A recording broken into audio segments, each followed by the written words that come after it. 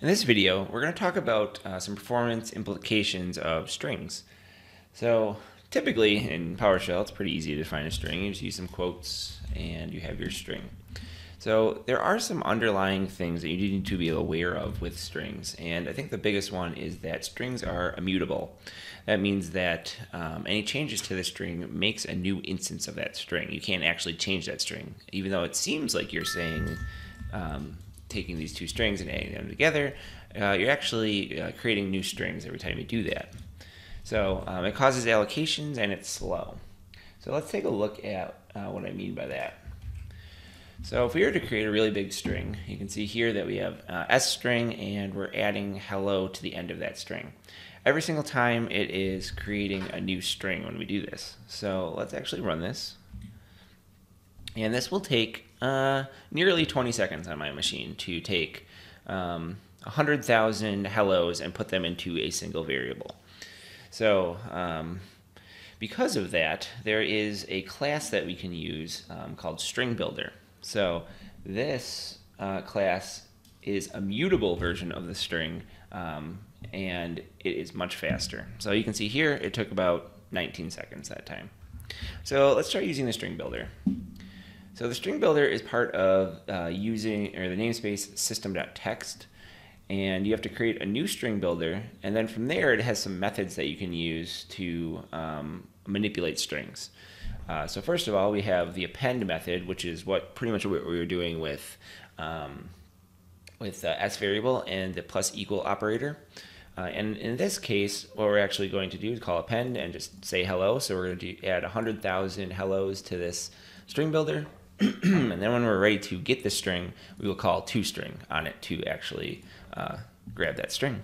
So now when you execute this, you can see it runs in um, 188 milliseconds. So it's much, much, much faster for um, manipulating strings. So the string builder has a bunch of um, cool like uh, string manipulation features that you should look at. Um, one is append format. So rather than um, using the PowerShell concatenation um, and formatting strings, you could actually use string builder's format string directly. So if you're formatting a whole bunch of strings, this is like the fastest way to do it. And you can see here I'm creating a new string builder. I'm setting a variable to world.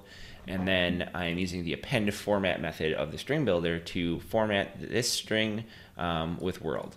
So uh, the way this works is this is the kind of the index of the item that we want to format. So um, this is index zero right here.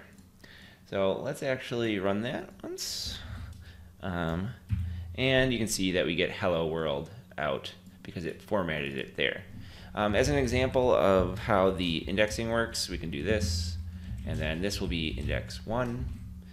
And if we run that again, you'll see we get hello world world.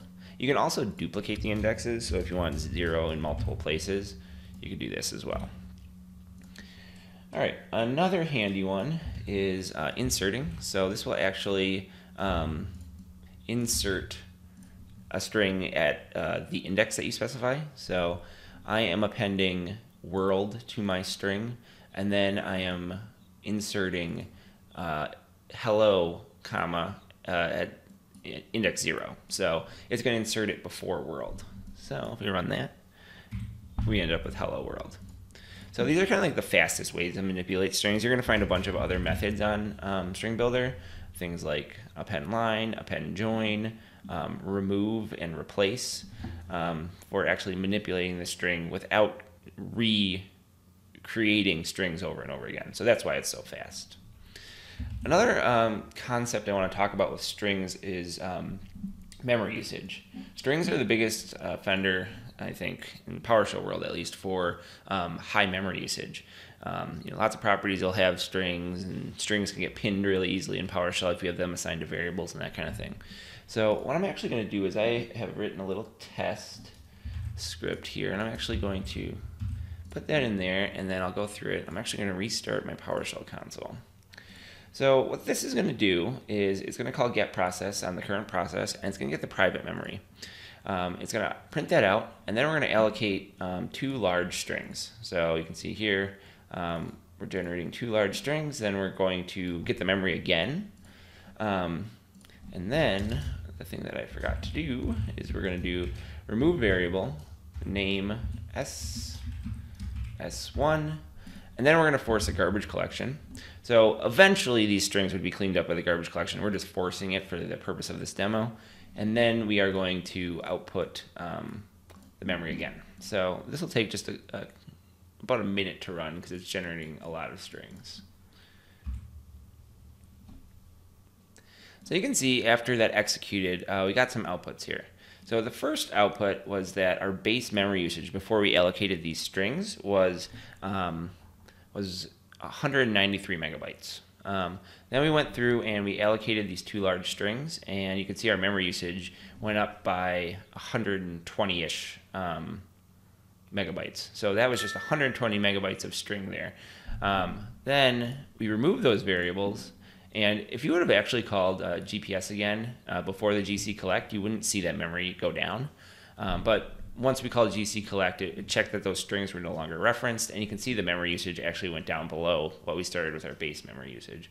So you need to be a little careful with, um, you know, what you're storing in memory in your objects, uh, because strings can really, really inflate the memory usage in your process. So in this video, we went through some um, performance um, characteristics of strings.